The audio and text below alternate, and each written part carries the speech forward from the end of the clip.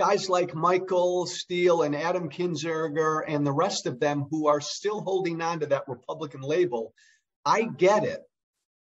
It's a fucking scary thing to step away formally, like I did almost three years ago. Because as much as you and I talk about independence, what do you mean independence? I don't belong to a team right now. Uh, I'm not, I'll never bullshit you. I'll never bullshit anybody. Um, I've thought about becoming a Democrat, like a real conservative Democrat. And part of it is I want to belong to a fucking team. You know, I, I like, I feel like for the last three years, I've been, we've got this fight on the battlefield between Republicans and Democrats. I'm like a consultant on the side of the field advising Democrats. I'm tired of that. I, I, I want to be on the fucking field.